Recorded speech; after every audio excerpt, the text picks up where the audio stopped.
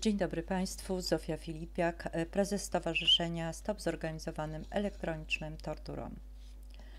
E, około dwa tygodnie temu e, zrobiłam taką, takie pierwsze nagranie, taką zajawkę, e, wprowadzając temat, że będziemy robić cykl nagrań odnośnie tematu, którym zajmuje się nasze stowarzyszenie. No i myślałam, że oczywiście za moment zrobię więcej nagrań, no ale niestety wydarzyło się kilka sytuacji, które właśnie na, na taki długi aż okres mnie wyłączyły. A coś się dokładnie zaczęło dziać. Otóż zaczęły się masowe hospitalizacje e, osób. I to e, osób, które e, dopiero co skontaktowały się ze mną i przekazały jakieś informacje istotne, albo po prostu osób już wcześniej uczestniczących w kontaktujących się z naszym stowarzyszeniem. Bardzo istotne były te przypadki, właśnie dwa, osób y, z różnych rejonów Polski, gdzie właśnie po kontakcie y, ze mną, przedstawieniu mi y, ważnych informacji odnośnie podejrzeń swoich, a właściwie to takich prawie że udokumentowanych dowodów na to, że osoby z jej rodziny, z ich rodzin biorą w tym udział. Przynajmniej mają taką wiedzę. I jeden przypadek to dotyczył właśnie pana z okolic Warszawy, Y, który opowiedział bardzo w sposób logiczny te swoje doświadczenia i to, co usłyszał od tego członka rodziny, który y, go poinformował, że, że, ale poinformował po fakcie. A wcześniej było, miało miejsce coś takiego, że ta osoba dała mu do podpisania jakąś czystą kartkę, sugerując coś, że zapyta, pytając, czy nie chce czegoś otrzymać, on wyraził zgodę, a że było to w sytuacji, gdzie nawet e, nie był świadomy tego, co podpisuje, bo po prostu jak sobie kojarzył, to e, był po kilku piwach. E, no i bardzo mu ta propozycja, ta sugestia, ta propozycja właściwie odpowiadała, więc podpisał. A że to był ktoś z rodziny, to sądził, że to jest na poważnie, nic jakby niebezpiecznego w tym nie ma. Ale po jakimś czasie ta osoba właśnie zadzwoniła do niego, mając wyraźnie widać, jaką y, rozumiał e, podejście i, i, i sytuację całą tej osoby. Y, oznajmiła mu, że y, teraz to będą e, się u ciebie działy równe, różne rzeczy, dziwne, ale uważam, że musisz to wiedzieć. Wydawało się, on to odebrał jako taką, jako taki wyrzut sumienia, że postanowiła go powiadomić o tym fakcie. Kolejny przypadek, e, ten drugi, ale jeszcze dodam, że właśnie ta osoba po paru dniach po telefonie do mnie została wprowadzona w taki dziwny stan agresji i, i w, w, stosunku do osoby, z którą mieszka, zaczyna się awanturować po prostu tak jakby bez powodu nagle. No i ta osoba oczywiście zadzwoniła po karetkę. To jest w sumie taki normalny no, odruch, tak, ale jeżeli, mm, jeżeli nie wie się, e, z czym to się kojarzy, takie wezwanie karetki i, i taka hospitalizacja, to się wydaje normalne, dlatego e, no, trzeba będzie zrobić cykl nagla, nagrań e, uświadamiających ludziom, czym jest tak naprawdę psychiatria i jakie ma możliwości dzisiaj i do czego jest wykorzystywana. To jest przede wszystkim. A drugi przypadek, też tego młodego pana, to obydwaj gdzieś tak w wieku około 30 lat byli, Y, to też przekazał informację, że też podejrzewała bliską osobę, bo zauważył pewne zmiany, jak się zaczęła w stosunku do niego zachowywać później już od jakiegoś już dłuższego czasu. Jeszcze jako taki młodzie, był bardzo takim nastolatkiem, a już sytuacja się zmieniała. Y, później y, miał dziwne, dziwny zabieg w dziwnym miejscu. No i później był uznany już chorym psychicznie na e, rencie ale mieszkał samodzielnie. Ostatnio e, właśnie on mieszkał w domku i to osiedle wyglądało z opisów tego pana, e, że to może być jakieś takie osiedle eksperymentalne, e, bo reakcje tych ludzi były bardzo dziwne mm, i on też nie wszystkich podejrzewał jako takich świadomych stalkerów. No i też po rozmowie ze mną po paru dniach, tak praktycznie w jednym czasie te dwie osoby zadzwoniły do mnie ze szpitala informując, że i to właściwie ten jeden pan, który podpisał tą pustą kartkę, to tak był nafaszerowany lekami, że z nim praktycznie był bardzo taki utrudniony kontakt w tym momencie logiczny, logicznego porozumiewania się, a w ogóle miał bardzo niewyraźną mowę, czyli widać było, że jest nafaszerowany silnymi środkami psychotropowymi. No i to jest celowe oczywiście, tak. I teraz zachodzi taka obawa, czy nie wykasują im w jakimś stopniu pamięci odnośnie tych informacji, które mają. I dlatego postanowiłam zrobić to nagranie, żeby właśnie przestrzec eksperymentatorów, że my wiemy o takich możliwościach. I w tym czasie, tak jak już wspomniałam, jeszcze trzy osoby zostały też hospitalizowane już tutaj z kręgu naszego bliskiego jakby stowarzyszenia, które są z nami w dłuższym kontakcie. I też w bardzo dziwnych sytuacjach widać było taką silną dekoncentrację u jednej z tych osób. Ona po prostu wydzwaniała też do mnie, nie wydzwaniała, bardziej pisała te SMS-y, które jej miała dyktowane prosto do głowy poprzez tą technologię Voice School, ale głównie postanowiłam zrobić ten odcinek ze względu na taką kolejną już ofiarę tych eksperymentów, panią w podeszłym wieku około 70 lat, panią Irenę z Rudy Śląskiej, gdzie właśnie ostatnio, pomimo tak okrutnych tortur, jakie przechodzi i różnego rodzaju metod torturowania, jeszcze dostała wyrok skazujący na przymusowe leczenie. Oczywiście bezpodstawnie, bez żadnych powodów. I to jest właściwie bardzo bulwersująca sprawa i musiałam odłożyć wszystkie inne sprawy i tutaj zrobić takie pismo do tych urzędników, którzy postanowili w ten sposób uciszy panią, uciszyć panią Irenę, żeby jej informacje nie wyszły na jaw, a też ma u niej też była sytuacja też związana z podpisaniem pustych kartek. I to było jeszcze jak mieszkała na osiedlu Halemba, gdzie też podejrzewa, że tam było przeprowadzane jakieś takie bardziej zorganizowane, masowe pole do doświadczeń na tych, na tych osobach w tym miejscu, w Halembie, gdzie mieszkała, bo było tam bardzo dużo takich przypadków też zdrowotnych dziwnych. I nawet na jednej sesji tego, tego posiedzenia wspólnoty mieszkaniowej, której też była członkiem pani Rena, te osoby dostały jakieś puste kartki do podpisania. I teraz też no, układa nam się tutaj, że, że oni muszą mieć te, niektórzy przynajmniej dbają o to, żeby mieć potwierdzenia na piśmie do wykonywania tych eksperymentów. Zabezpieczają się po prostu.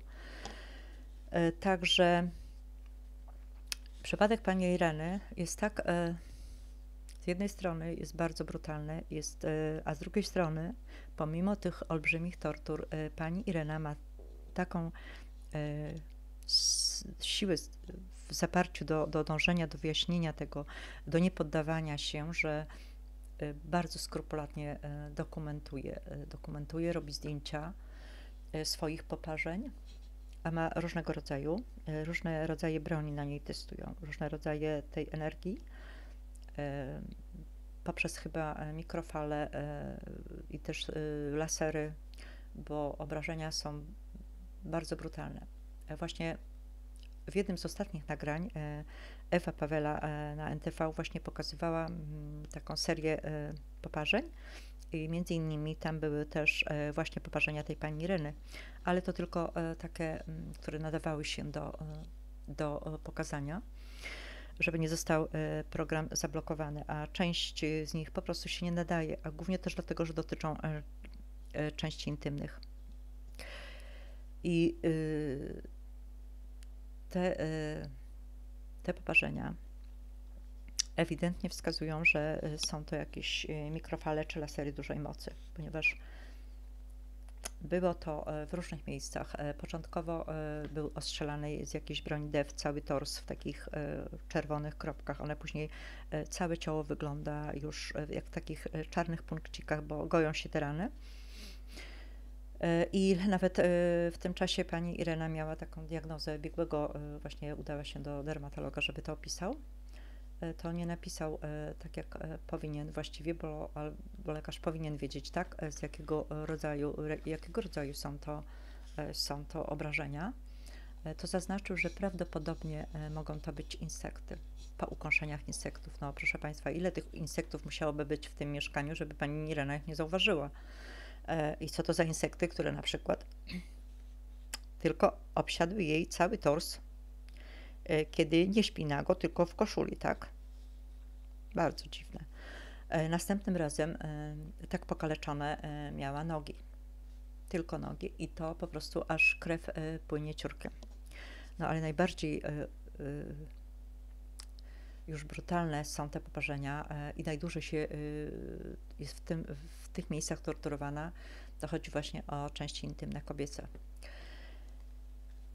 E, no, ale e, oprócz tego, oprócz tych poparzeń, e, pani Irena, oprócz stalkingu tego sąsiedzkiego, urzędniczego, ma też jeszcze dodatkowo gwałty elektroniczne, gdzie skarżą się na tego typu właśnie tortur bardzo wiele osób, zarówno kobiet, jak i mężczyzn. Pani Irena nie jest odosobnionym przypadkiem, ale jest to o tyle trudne do zrozumienia, że tyle e, metod brutalnych tortur e, musi znosić jedna kobieta około lat 70. To jest po prostu niewyobrażalne. To, to ja nie wiem, co jest, co jest powodem dla takiego właśnie aż e, dokuczliwego znęcania się nad jedną osobą. I dlatego Y, musiałam zrobić to pismo do tych urzędników w, w imieniu pani Ireny, żeby po prostu ich przestrzec przed ingerencją, żeby nie odważyli się przechodzić po panią Irenę i, i przymusowo hospitalizować, bo wiadomo, że w dzisiejszej sytuacji to się kończy zgonem, tak? I wszystko będzie y, uzasadnieniem na COVID. A pani Irena ma jeszcze dużo rzeczy do przekazania, do udowodnienia, y, skąd się biorą te jej poparzenia, bo została też e, bardzo mm, brzydko posądzana i też w taki naprawdę nikczemny sposób przez tych urzędników z Miejskiego Ośrodka Pomocy Społecznej e, oskarżona, że ona dokonuje autoagresji, proszę Państwa. Tak.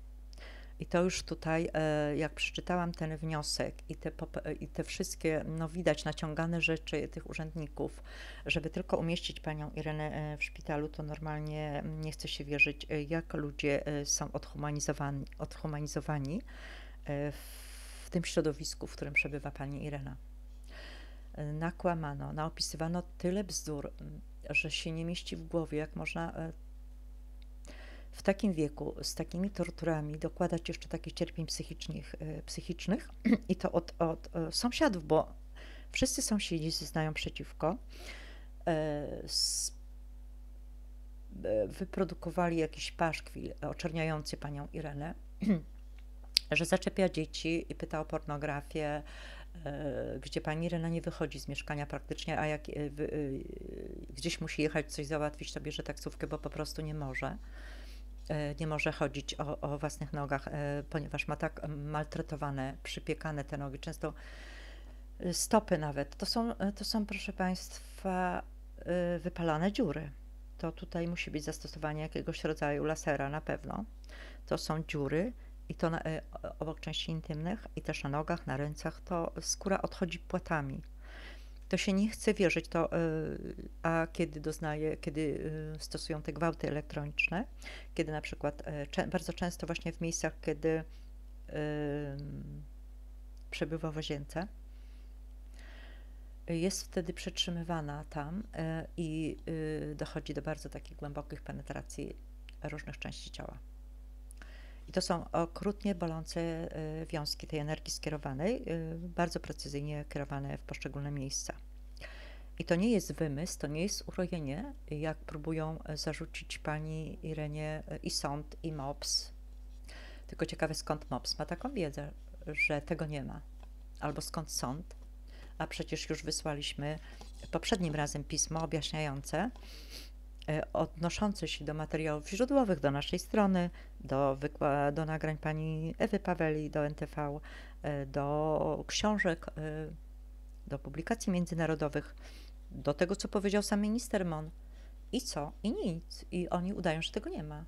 Dlatego, że telewizja o tym nie mówi, ale to czas to zmienić, proszę Państwa. Nie możemy być, nie możemy być tak obojętni na to, co robią ci urzędnicy.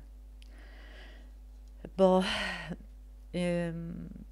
problem właśnie wykorzystywania urzędników jest, y, jest y, bardzo duży, jest ogromny, z czego większość społeczeństwa nie zdaje sobie sprawy, jak daleko, jak daleko to sięga. My jesteśmy już tak podzielonym społeczeństwem na e, kontrolowanych i kontrolujących, na prześladowanych i prześladujących, że, że większość ludzi nie zdaje sobie sprawy, y, bo ich jeszcze to nie, do, e, nie dotyczy i po prostu jest im trudno w to uwierzyć ale te przykłady, które będziemy e, opowiadać, opisywać, e, proszę, żeby ludzie dzwonili, kiedy umówimy się na takie nagrania, kiedy będę e, właśnie nagrywać, żeby ktoś dzwonił i, i, i relacjonował swoje doświadczenia, bo nie mamy innego wyjścia, jak na przykładach pokazywać, jak to wygląda w Polsce, tak? I jeszcze tutaj dodam, że musiałam odłożyć wszystkie inne sprawy na bok i zrobić to pismo do tych urzędników y, w Rudzie Śląskiej, gdzie mieszka pani Irena, ponieważ pierwsze y, orzeczenie o postanowienie o psychiatryzacji pani Irena dostała 21 września. Z zaznaczeniem, że na podstawie artykułu 46 ust. 2c ustawy z dnia 19 sierpnia 1994 roku o ochronie zdrowia psychicznego zatrzymać i przymusowo doprowadzić uczestniczkę postępowania na oddział psychiatryczny Ogólny Szpitala Miejskiego w Rudzie Śląskiej. Ale w tej sprawie wystosował pismo lekarz y, z tego oddziału psychiatrycznego do chyba sądu, że nie ma miejsc y, na oddziale a, e, i uczestniczka nie kwalifikuje się w trybie pilnym e, do hospitalizacji.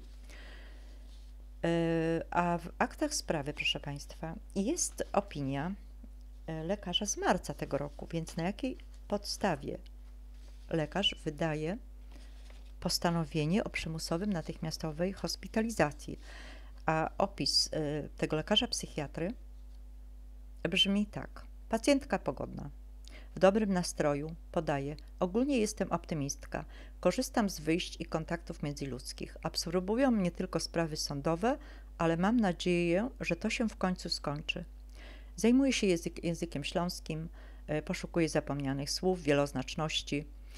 E, I tutaj jeszcze opisuję, e, u jakich specjalistów była, lecząc się.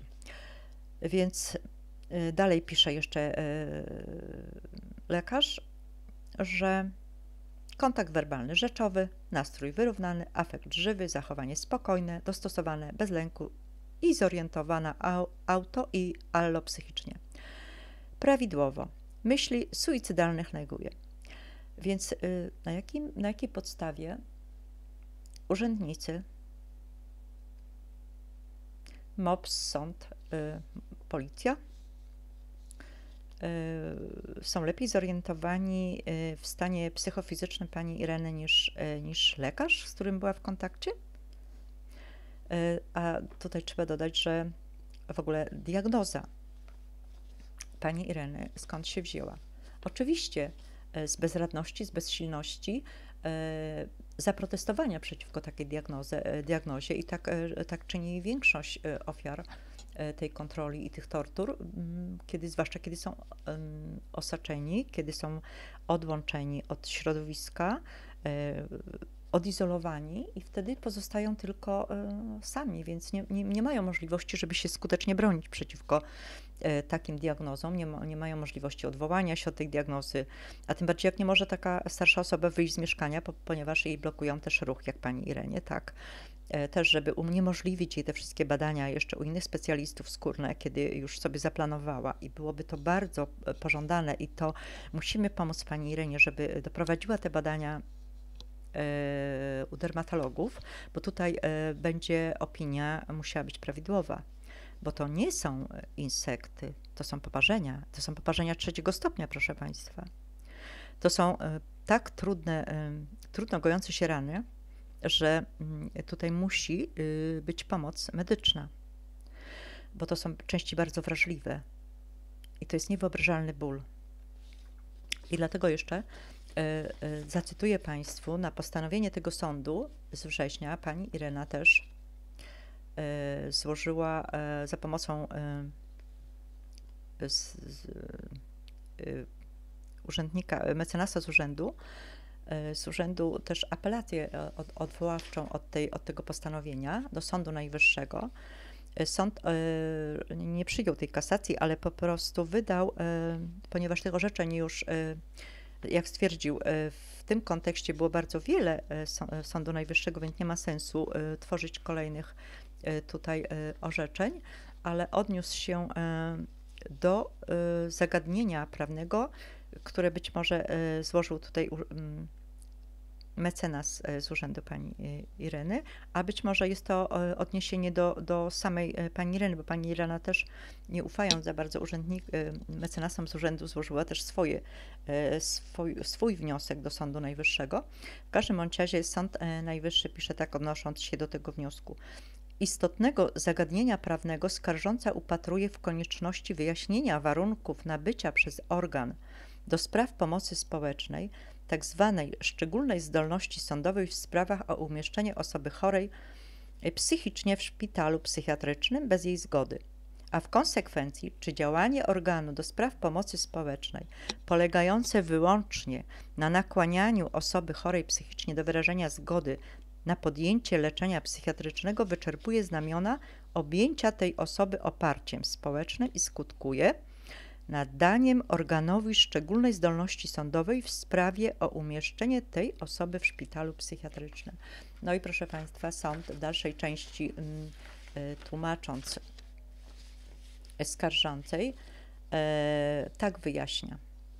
Z powyższych przepisów prawa wynika, że tak inwazyjne działania, jak nakłanianie osoby do wyrażenia zgody na leczenie psychiatryczne, nie mieszczą się w katalogu oparcia społecznego, ani nawet nie są zgodne z duchem i fundamentalnymi zasadami ustrojowymi systemu pomocy społecznej, jako zbyt głęboko ingerujące w sferę praw i wolności jednostki. Tak, proszę Państwa, a właśnie pomoc społeczna w Rudzie Śląskiej odnośnie pani Ireny polega głównie na tym domaganiu się, żądaniu, nakłanianiu do hospitalizacji, ponieważ pisze pisma do policji, prokuratury wyjaśniające, yy, czego doświadcza.